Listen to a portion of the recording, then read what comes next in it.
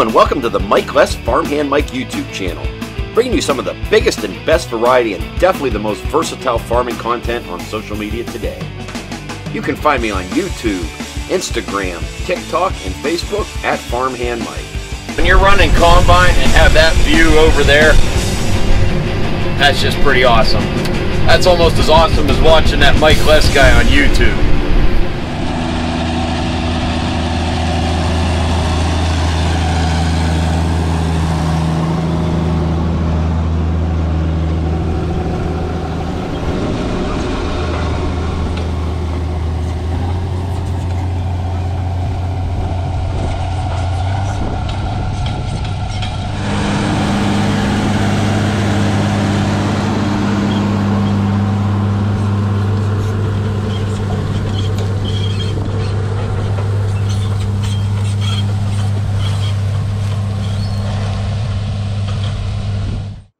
Hey everyone, in today's video, I am out in a harvested cornfield just north of Annawan, Illinois, out in the field with a versatile 936 articulated four-wheel drive tractor pulling a Salford 7-bottom moldboard plow.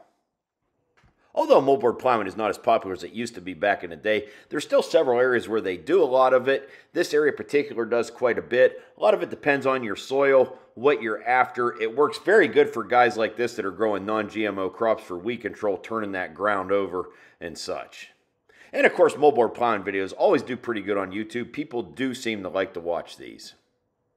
And really, getting a classic tractor out here like this Versatile 936, how could you not like to watch this video? The Versatile 936 tractor was built in Winnipeg, Manitoba, Canada from 1985 to 1988. This tractor would have had a price tag on it, depending how it was equipped, around $90,000. These were powered with a Cummins 14-liter six-cylinder diesel engine rated at 310 engine horsepower. You could get these with a synchro or a full power shift transmission. This tractor held around 286 gallons of diesel fuel, and depending how it was equipped, would have weighed in somewhere in that 26,500 to just over 27,000 pounds. And the Salford moldboard plow you see here is still a current model plow you can still buy brand new today.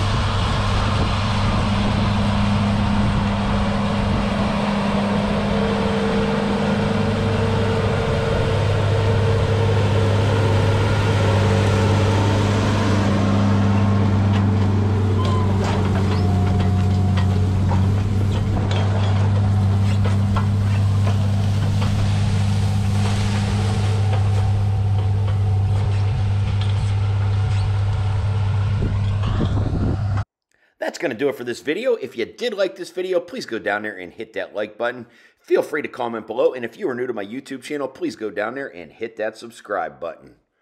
Also, if you want to see more of what I'm doing, you can also find me on Instagram, Facebook, and TikTok at Farmhand Mike. As always, thank you for watching. Check back often. Always lots of new and exciting farming content coming to my YouTube channel.